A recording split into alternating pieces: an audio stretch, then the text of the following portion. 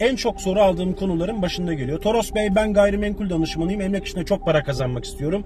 Neye ihtiyacım var? Arkadaşlar emlak işinde çok para kazanmak istiyorsanız hiç Amerika'yı yeniden keşfetmeye gerek yok.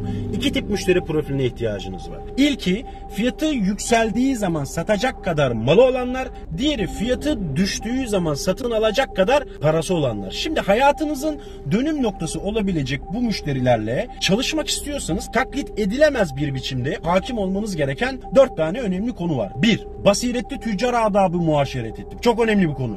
Türk Ticaret Kanunu'nun madde 18'ine bile girmiş. Bu konuyu hem usul hem de esas yönüyle doğru anlamanız gerekiyor arkadaşlar. Yani esnaflığı iş insanlığına dönüştüren o yolu, yordamı, erkanı, irfanı öğrenmekten bahsediyorum. 2. Şimdi gayrimenkul konusunda uluslararası literatür olarak kabul edilen Profesör Doktor Vedia Dökmeci Hoca'nın bir akademik yayını var. İsmi Location Theory. Türkçe kaynağa da dönüştürüldü bu isim yer seçimi kuramı. Bu kitabı ne yapıp edip bulun. Bunu intikam alır gibi alın, canını okur gibi okuyun. 3.